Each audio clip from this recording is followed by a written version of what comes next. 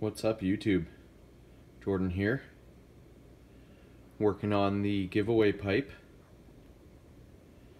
So I've just got it uh, drilled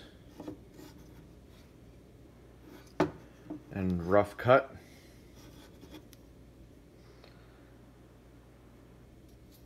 Super rough cut. Um, it's already standing, which is super cool.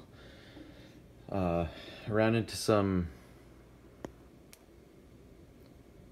a few little cracks in the bottom here, but judging by where they are, if you see kind of how I'm going to shape it, I'm going to miss that. And then the bottom here, if there's a couple left, I'll either just sand it down a little bit more. Like I got a lot of room of material there till the bowl.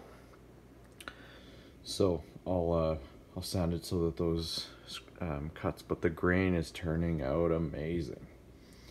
I think it's going to be a really cool grain. I'm going to if I can, I'm going to try and do it smooth. You can see a little crack there too.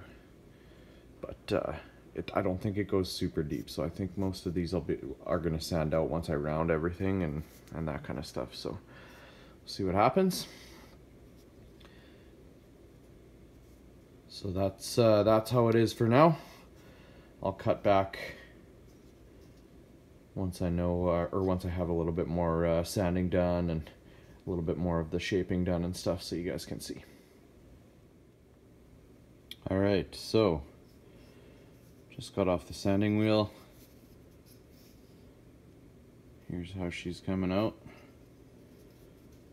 Most of those cracks and uh, pits have gone away on the bottom here. There's a sand pit there. And there's one here as well. I'm not sure if I'll have I'll fill it or whatever, but I want to try and keep this pipe smooth if I can. Um, because the grain is looking super good. So that's that. Now it's on to hand sanding all the rough edges from the sanding wheel and just kind of overall smoothing it out and getting her ready to go. So I'll come back after uh, hand sanding and show you a little bit more. Got the double plateau going. Also gotta get the uh, mouthpiece started here soon. Still, oops, still stands. So yeah, that's that so far. Back in a little bit. Alright, so I skipped a couple steps because I got busy in doing it. But it's all sanded, stained. The grain is unreal. The plateau turned out super sweet too. Kind of dark and light showing through on the tops. Stand still. Haven't done the mouthpiece yet. That's the next step, but this mouthpiece I don't have to shape to the pipe, right? So I can do it uh, at any point here. That's why I just got anxious and wanted to finish this. Anyways, the grain is awesome on this block. You can see the little the sand pit that came through here. Um, so I did a, a decent fill using some of the briar dust and whatever, but it'll always stain out darker, right? Because it's essentially just going to be end grain. So that's uh, that's so far. I'll come back to you with the uh, mouthpiece update. All right, so just got off the uh, sander with the mouthpiece. Just rough shaped. Um, this is the first time I actually did some, if it'll focus out.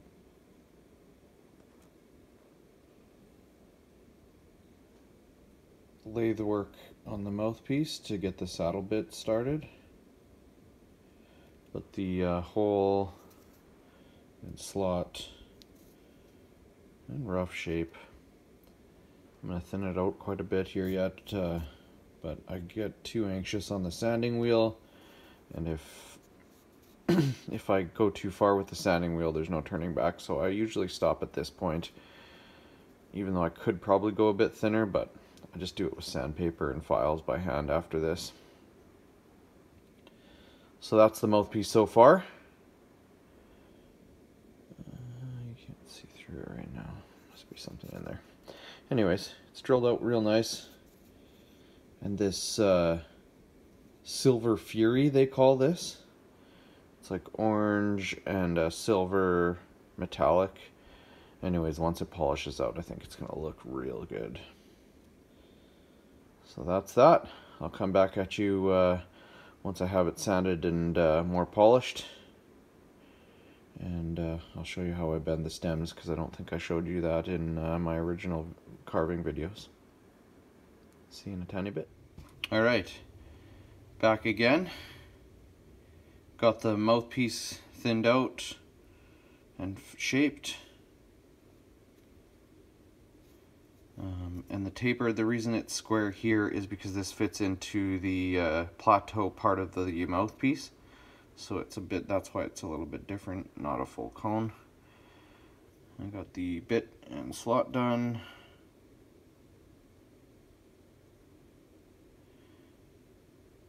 And yeah, it's overall, it's pretty good. So now I'm going to take my heat gun and heat up all the way from here up. And then with gloves on just you kind of once it's heated up you just kind of just drag along it slightly just to get your nice smooth bend. I'm going for just a gradual bend on this one. I don't want to have a crazy bend on it just to kind of flow with the pipe a little bit so uh, I'm gonna try and bend it all the way from the back all the way up to the front there. And uh, I'll come back and show you once it's bent. All right, so stem is bent. This is 100 grit sandpaper. I only go to 100 grit when I'm bending um, because sometimes when you're bending it, it'll actually, depends on how aggressive of a bend, but it'll actually ripple a little bit here if you're not careful. So that's why I was saying you kind of got to like go real smooth and drag it along there. But you can kind of see how smoothness there. I leave it a little bit straighter here in case a guy wants to clench.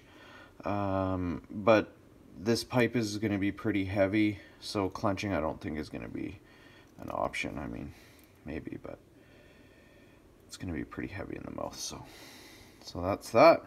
That's the bent stem. And uh, now it's uh, 220, 320, 400, and then buffing. Oops. And, uh, and then I will come back and show you the completed uh, pipe once it's all finished. All right. And without further ado, introducing the freehand giveaway Dublin.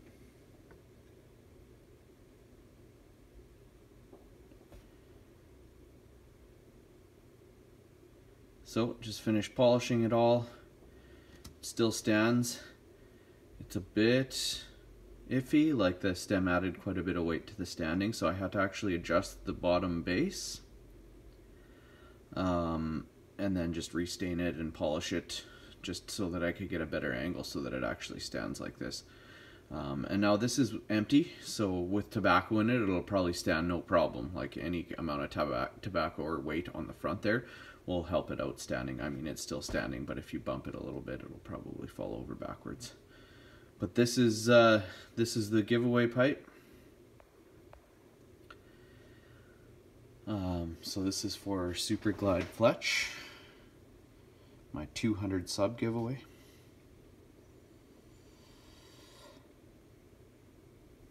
And it turned out super good. I got the stem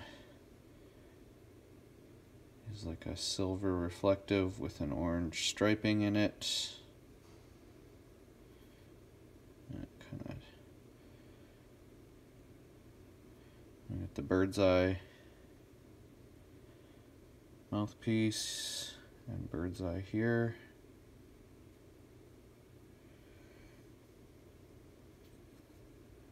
And the grain is so nice on this.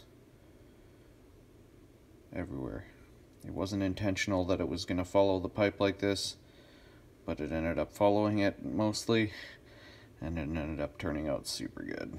So some bird's eye on the bottom base.